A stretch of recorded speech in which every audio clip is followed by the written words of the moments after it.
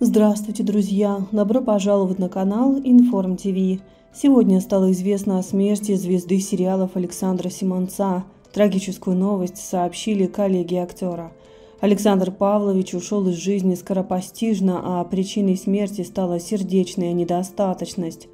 Об этом сообщили СМИ. Телеграм-каналы пишут, что скончался звезда сериалов по дороге на работу в театр.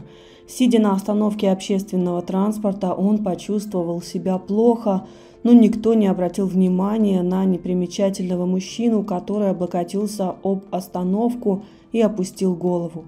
Только спустя несколько часов неравнодушные прохожие вызвали скорую, и медики только лишь констатировали смерть.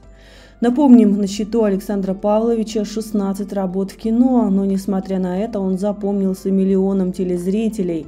В частности, на его счету роли в таких проектах, как «Дружная семейка», «Глухарь», «Возвращение Мухтара», «Кодекс чести» и многих других. Его трагическую смерть уже прокомментировал Андрей Малахов. Он такого не заслужил, жаль наблюдать такую страшную бессердечность. Окружение артиста называют его добрым и отзывчивым человеком, который был до конца предан своей профессии. Цитата «Симонет сыграл множество замечательных ролей, но был еще и искренним, глубоким и интеллигентным человеком.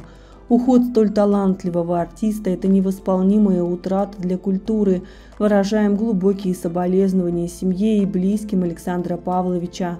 О дате прощания с артистом будет объявлено дополнительно, отметили в Театре драмы.